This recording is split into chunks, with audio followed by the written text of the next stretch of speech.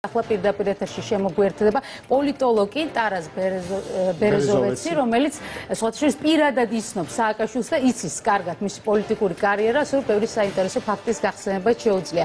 საღამო მშვიდობისა, ტარას, მადლობა რომ ხართ ჩვენთან ერთად. პირველი კითხვაც ასეთი იქნება, როდესაც დღეს სააკაშვილი ამტკიცებს, რომ ის არის ავტორიტეტული ფიგურა უკრაინაში. საერთოდ რამდენად აქტუალურია მისი თემა, მედია თუ ოფიციოზი უთმობს თუ არა სააკაშვილის საკითხს დღეს რაიმე ყურადღებას?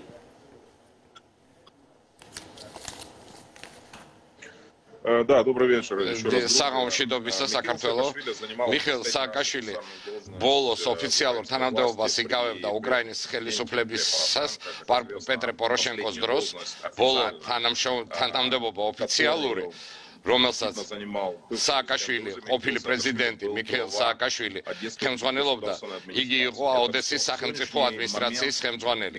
ამჟამ ამჟამად მიქეილ სააკაშვილი რეფორმების ეგრეთ წოდებულ ოფის ხელმძღვანელობს უკრაინის პრეზიდენტის ოფისთან, მაგრამ ეს არ გახლავთ სახელმწიფო სტრუქტურა და ყველა მისი თანამშრომლები არ გახლავთ საჯარო მოხელეები. ეს გახლავთ თავისებურად ჰიბრიდული ორგანო, რომელიც იყო ჩაფიქრებული განკრებული ზუსტად სააკაშვილისთვის. და ყველაზე მნიშვნელოვანი ამოცანა ამისი იყო რაღაცნაირად სააკაშვილი სთვის ადგილი მოენახათ. იმ იმის გაზრებით რომ როგორც აქტიურ პიროვნებას მას შეეძლო ძალიან დიდი საფრთხე და პრობლემები შეექმნა მოქმედი პრეზიდენტ ზელენსკისთვის.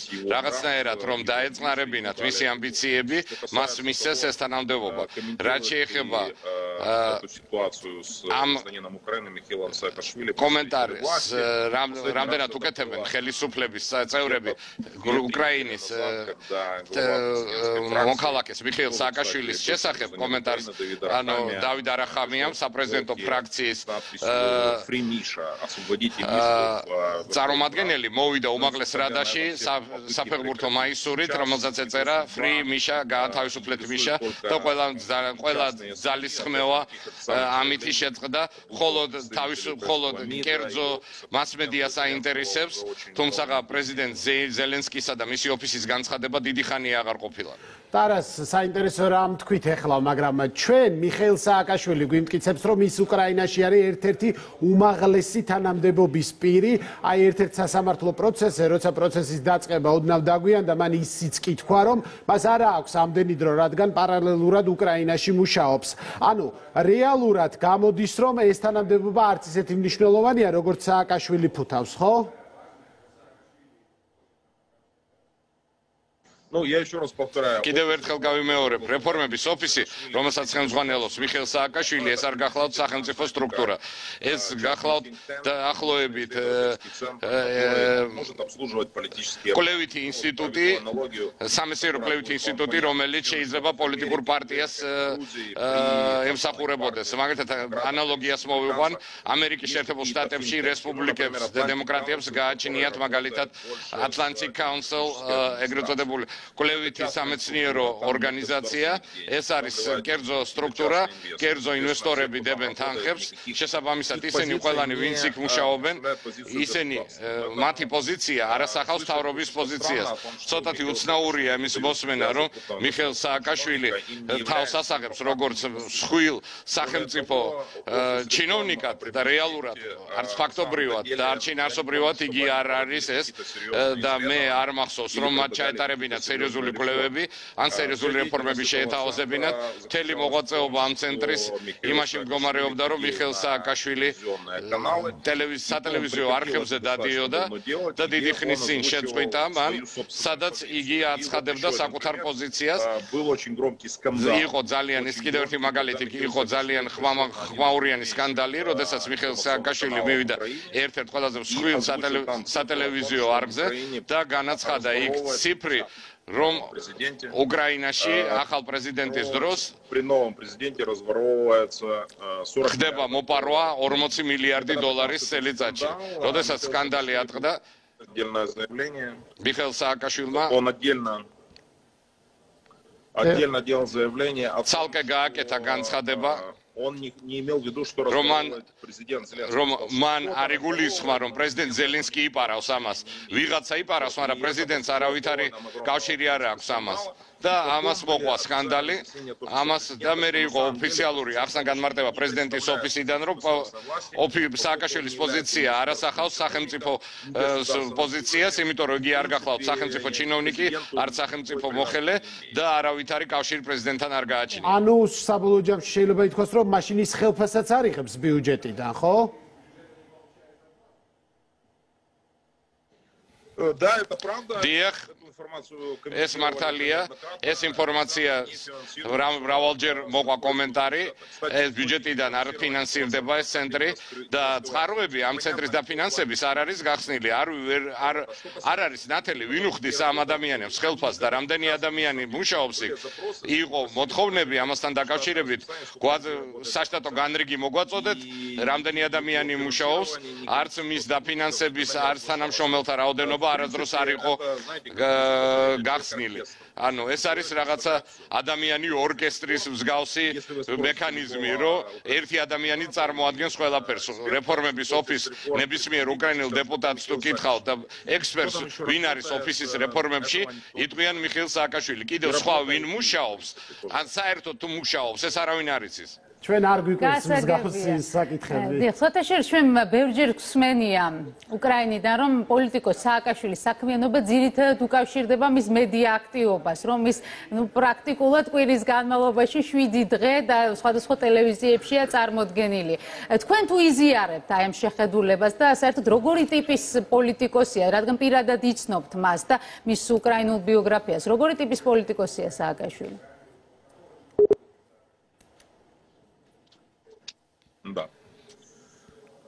Михаил Саакашвили очень медийно активен и всегда... იდეურად აქტიურია და ყოველთვის ესეთი იყო მიხეილ სააკაშვილი უკანასკნელი წლების განმავლობაში ჯერ კიდევ პოროშენკოს პრეზიდენტობის დროს მასმედიაში ძალიან აქტიური იყო და ესეთივე დარჩა პრეზიდენტ ზელენსკის დროს რაც შეეხება იმას ვინ აძლევს მას ეთერს ეს ძალიან დიდი კითხვის ნიშნის ქვეშ დგას. მაგრამ სააკაშვილს ძალიან ბევრი ოლიგარქების არხები სიმპათიით არიან განწყობილი სააკაშვილის მიმართ. მაგალითად ოლიგარქი რენატ ახმეტოვის ტელეარხზე იყო იყო ყოველთვის ყოველთვის გულთბილად ხდებოდნენ მას, რომელსაც პრეზიდენტ ზელენსკი ადანაშაულებდა სახელმწიფო გადატრიალების ორგანიზებაში. ეს ინფორმაცია არ დამკიც და любил показывать მაგრამ ასევე მეორე ალიგარქი იგალ კოლომოისკი რომელსაც უყვარდა სააკაშვილის ჩვენება ყველაზე დიდი უკრაინული მასმედია იმპერიის მფლობელი чем он занимался. რაც შეეხება რას აკეთებდა მისი მოქმედება აა, და იგი აკრიტიკებდა ხელისუფლებას პრეზიდენტ ზელენსკის დროს პრეზიდენტ პოროშენკოს დროს კორუფციისთვის აა, გვარებს ასახელებდა მაგრამ ეს საქმეები არაფრით არ თავდებოდა მაგრამ როგორი ტიპის პოლიტიკოსია აბსტრაქტულად რო ვთქვა политической деятельности, это политика... და თუ გვერდზე გავდგეთ აა, მისი პოლიტიკური აქტივობებისა, ეს გახდათ პოლიტიკოსი ავანტიურისტული მიდგომით, რომელსაც მიდრეკილება აქვს პო- პოლიტიკური პოპულიზმის მიმართ, რომელიც საერთოდ მოთხოვნილია საქართველოსშიც და უკრაინაშიც ეს მარტივი გადაწყვეტილებები ყო ბევრს მოსწონდათ, როდესაც სააკაშვილი ოდესი ოდეში ჩა- ოდესაში ჩავიდა, ამბობდა რომ უნდა მოვაშოროთ ყველა ღობე, უნდა გავხსნათ ყველა პლაჟი, ყველა დას უკრავდა ვითომ ამ ამ ანგრევდა აი ამ ღობეებს, მაგრამ ღობეების აღდგენა ხდებოდა შემდეგში, მაგრამ მაგრამ ამაზე სააკაშვილი э, ხმას არ იღებდა ძნელი პრობლემების გადაწყვეტას თავაზობდა მაგრამ არაფერი არ ხდებოდა. ესეთი მემარცხენე პოპულისტური რიტორიკამ დაღალა ძალიან ბევრი ადამიანი და ადამიანები ვინც დარჩა მის გვერდზე ეს არის ერთეულები. შეიძლება ათეულობით ადამიანი და საპრეზიდენტო პარტიაში მოხდა ეს ხალხი მისი პროტექციით რომელსაც ხია სახე ხალხის მსახური თქვენ ახსენეთ მემარცხენე პოპულისტობა და ასევე თქვენ ახსენეთ ოლიგარქებთან მეგობრობა. აი ეს ორი ერთი შეხედვით შეუთავსებელი ფაქტორი როგორ თავსდება სააკაშვილის პოლიტიკურ საქმიანობაში? очень просто. ძალიან მარტივად. Основная часть нашего ჩვენი украинского избирателя. უკრაინელი ამომრჩევლის დიდი ნაწილი მემარცხენე პარტიებს უჭერენ მხარს. ოლიგარქები აფინანსებენ იმ პოლიტიკურ პარტიებს, რომლებიც პოპულარულია მოსახლეობაში.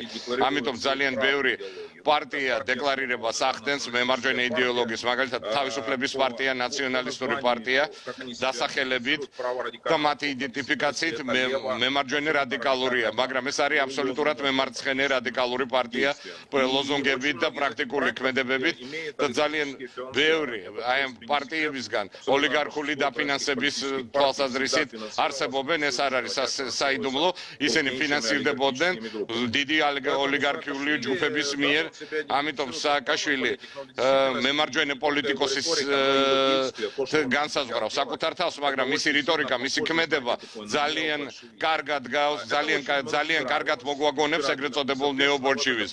ძალიან ბევრ ამორჩეველს. ეს მოსონდა და ოლიგარქები ზადარიან თანხებით ჩადონ ყოველ შემთხვევაში მასმედიის მხრიდან მასმედიის გამოყენებით დაფინანსება ოლიგარქების მხრიდან ეს ბოლომდე არ მტკიცდება, მაგრამ რომ იგი იყოს სტუმარი ოლიგარქების არხებისა ეს მართალია. აა მაგრამ ჩვენ გვახსოვს სისხლის სამართლის საქმე, რომელიც აღიზრდა და რომელიც გულისხმობდა იმას, რომ მზადდებოდა გადატრიალების მცდელობა და თანხა, რომელზეც საუბარი იყო, სწორედ რუსეთიდან მოედინებოდა, ხო? არ მეშლება. თან მით უმეტეს პირადად სააკაშვილს ესაუბრა ერთ-ერთი ოლიგარქი, რომელიც თანახმა იყო, რომ შუამავლის მეშვეობით ფული მიეწოდებინა მაშინ. ეს იმ დროს, როდესაც სააკაშვილი გვაჩვენებს თავს ყოველთვის საქართველოსშიც და უკრაინაშიც, რომ ის არის პროდასავლელი.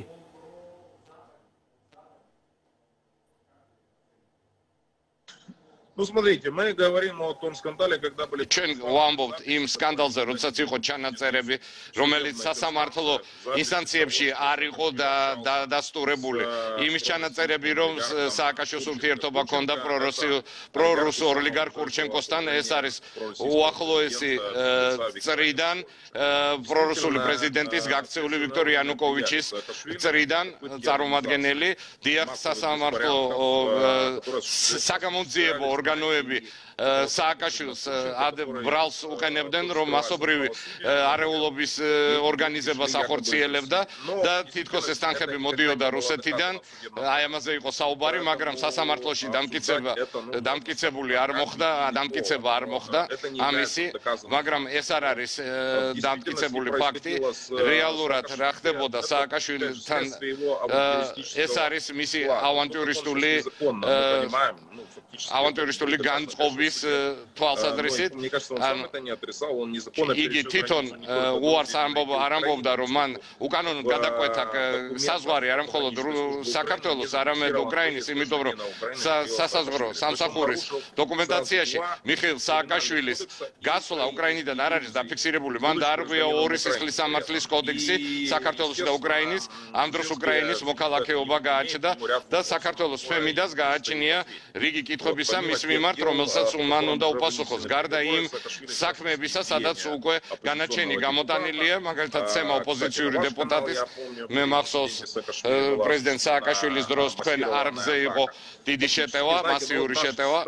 ფაქტიურად ჩვენი ქვეყნები უკრაინა და საქართველო ძალიან მტკივნეულ პროცესს გადიან вот этим старым олигархическим ძველი олигархული პოსაბჭოთა царსულის მოშორების თვალსაზრისით და ბევრი რამე რაც ხდება ხდებოდა სააკაშვილის დროს ხდებოდა სხვა პრეზიდენტების დროს იანუკოვიჩის დროს მაგალითად თავდასხმა მასმედიის თავისუფალ წყაროებზე олигарქიული შეთქმულებები მისი ისტორია ნათელია მეორე გაურკვეველია რატომ არ სურს წარსდგეს ქართული თემიდის დროს თემიდის წინაშე სააკაშვილი თუ 10 აცხადებს რომ მის დროს ყველაზე წარმატებული რეფორმები განხორციელდა. ყველა სხვა პრეზიდენტებთან შედარებით საქართველოს მაშინ მას არ უნდა ეშინოდეს ეფერმირებული სასამართლოსი პასუხი უნდა გასცეს ყველა კითხვას. თუ არაფერი არ ჩაუდენია ეს სამართლიანი არაკორუმპირებულმა სასამართლომ ჩემი აზრით იგი მაშინ უნდა გაამართლოს. ტარას კიდევ ერთი კითხვა გვექნება თქვენთან. როგორც ჩანს მისმა რეფორმებმა რეფორმებს წყალებში ვიხმარ? აღმოჩნდა რომ საერთოდ გაუცროა უკრაინელებს იმედი. ჩვენ ვიხილეთ არაერთი მისი თანაგუნდელი, რომელიც ჩამოსული იყო უკრაინაში და იქ დასაქმდა როგორც ჩანს ბიუჯეტის ფულით და ბოლო რაც მე მაინტერესებს არის ის რომ ის გვიმტკიცებს, რომ არის ერთ-ერთი ყველაზე რეიტინგული ფიგურა უკრაინაში ყველა გამოკითხვით. ადასტურებთ ამ ინფორმაციას?